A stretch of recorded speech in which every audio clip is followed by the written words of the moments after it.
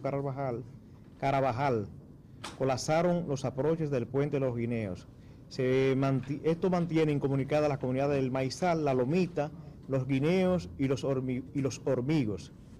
Meteorología dice que las precipitaciones eh, van a disminuir, no obstante, después de tantos días de lluvia y con la saturación de suelo que tenemos, se mantiene ese nivel de alerta hasta tanto ellos pues cambien la recomendación y se disminuyan los colores y algunas provincias salgan del escenario.